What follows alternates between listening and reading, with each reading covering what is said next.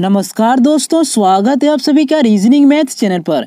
दोस्तों, आज के वीडियो में हम बताने जा रहे हैं 26 जनवरी 1950 को कौन सा दिन था। मात्र पाँच सेकेंड के अंदर आप पता कर सकते हैं। प्लीज़ इस वीडियो को लास्ट तक देखिएगा। तो चलिए शुरू करते हैं। हमारा क्वेश्चन है 26 जनवरी 1950 को कौन सा दिन था? मात्र पाँच सेकेंड के अंदर आप सॉल्व कर सकते हैं। इसके लिए आपको तीन कोड याद रखना होगा। एक महीना का कोड दूसरा दिन का कोड और तीसरा शताब्दी का कोड जो कि उसके ऊपर वीडियो में बना चुका हूँ। इस वीडियो के डिस्क्रिप्शन डिस्क्रिप्शन में लिंक मिल जाएगा। प्लीज़ उस वीडियो को एक बार ज़रूर देखिएगा।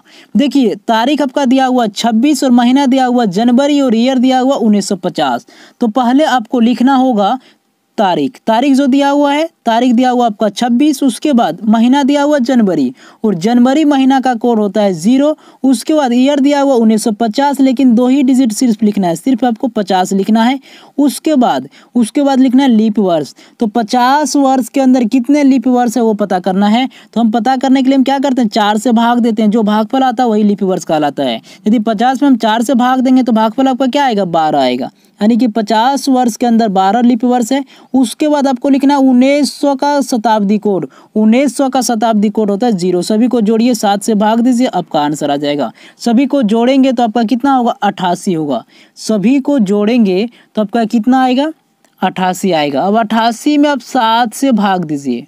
सात से भाग देंगे तो कितना होता? है बरसते कितना होता? है चौरासी। शेष आपका क्या बच गया? शेष आपका चार बच गया। चार, ये जो बचा है, पता कीजिए कौन सा दिन का कोड है? आपको याद होगा, गुरुवार का कोड है। यानी कि 26 जनवरी 1950 को कौन सा दिन था? गुरुवार था। देखिए, ए ऑप्शन में गुरुवार दिया हुआ, ए ऑप्शन आपका राइट आंसर है। अगस्त उन्नीस को कौन सा दिन था? मात्र पाँच सेकेंड के अंदर आप सॉल्व करने के लिए मैं बताऊँगा। मात्र पाँच सेकेंड के अंदर। इसके लिए आपको तीन कोड याद रखना होगा। एक महीना का कोड दूसरा दिन का कोड और तीसरा शताब्दी का कोड जो कि उसके ऊपर मैं वीडियो बना चुका हूँ। इस वीडियो के डिस्क्रिप्शन में लिंक मिल जाएगा। प्लीज़ उस वीडियो को एक बार ज़रूर देखिएगा। तो आइए शुरू करते हैं। चलिए इसके लिए आपको पहले लिखना होगा तारीख।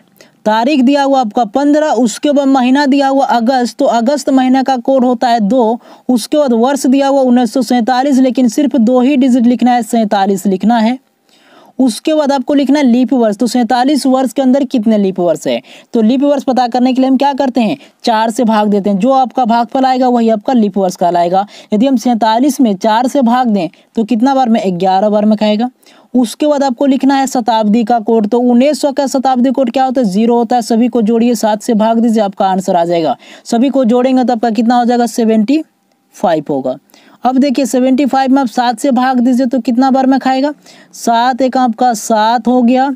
उसके बाद यहाँ उतर गया आपका कितना? पाँच। ये जो पाँच जो शेष बचा है ना, ये जो पाँच जो शेष बचा है, आप पता कीजिए कौन सा दिन का कोड है। आपको याद होगा शुक्रवार का कोड है। देखिए, शुक्रवार यहाँ बी ऑप्शन में दिया हुआ है बी ऑप्शन आपका राइट आंसर है। पंद्रह अगस्त उन्नीस को कौन सा दिन था? शुक्रवार था। तो मुझे उम्मीद है कि छोटी सी वीडियो आपको पसंद आया होगा। Thanks for watching guys